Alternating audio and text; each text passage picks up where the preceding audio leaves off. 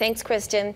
Now to Franklin County, where the Greenfield Police Department is concerned about the recent uptick in violence in the community. Western Mass News reporter Paris Dunford joins us live now with those details. Paris?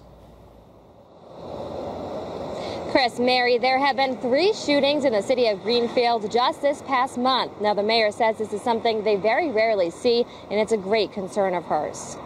In the past month, there have been three shootings in the city of Greenfield. One shooting on July 25th, which led to a high-speed chase between suspects and police, one a week earlier on July 14th, and one on June 11th. The mayor says this community rarely sees violent crimes. I think it's uh, an unusual situation in Greenfield to have this happen so rapidly. And Western Mass News found those who live here agree. Makes me feel a little scared, like the town is getting a little more violent, which is crazy because it's usually pretty quiet. Now, despite these shootings happening so close together, Acting Police Chief William Gordon says the department does not believe they are connected.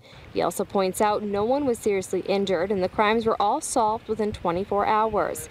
However, overall, he says he's seen a lot more guns in the community, most of them being carried illegally. We have seen a lot more firearms involved in car stops and other dealings with uh, people in, uh, in this town. The mayor wants to bring awareness to this recent uptick in violence, but also let the community know that they are doing their best to prevent crimes like these. Just know that uh, we are working as hard as we can, as often as we can, to make our streets safe. Now, the acting chief of Greenfield PD is worried that the recent budget cuts they've been experiencing will make investigating these shooter, shootings, excuse me, even harder. I'll have more on that tonight on Western Mass News at 6. For now, reporting live in Greenfield, Paris Dunford for Western Mass News.